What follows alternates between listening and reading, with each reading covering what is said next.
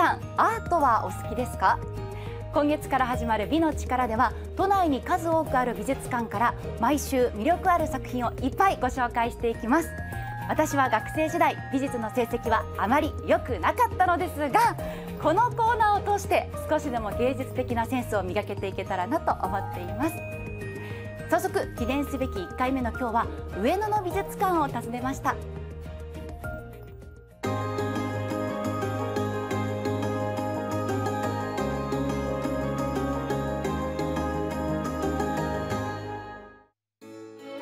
上野駅から公園の桜を楽しみながら歩くことおよそ10分。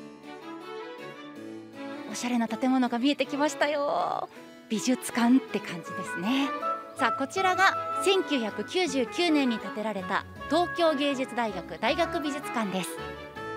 こちらの美術館施設自体にアートを感じられる場所があります。こちらの階段なんですが何でもとっても面白いということなのでちょっと登ってみたいと思います。階段が普通の螺旋階段と違って楕円形になっています。美術館では階段すらもアートです。でも楕円形な分上まで登る時の距離は長くなりますけどね。結構登りましたでは気を取り直して。そんな東京芸術大学大学美術館で現在開催されているのがこちらです。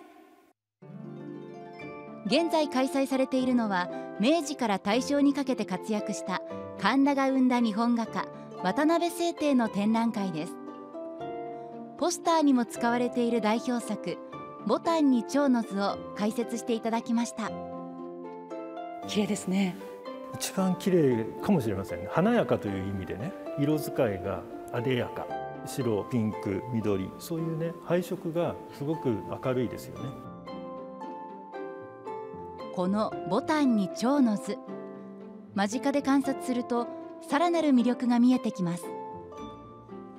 あなんか落ちてきてる。普通は枯れていく花って描かないと思うんですけども、はいそれをあえてだんだん落ちていくようにで最後にこう落ちましたっていうようなそこに時間が流れているということも感じさせるわけですね。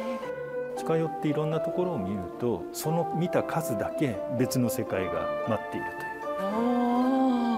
なるほど、うん、渡辺清帝の作品の全貌を感じることができる初めての展覧会来週はこの他の魅力的な作品も多数ご紹介していきますのでお楽しみに。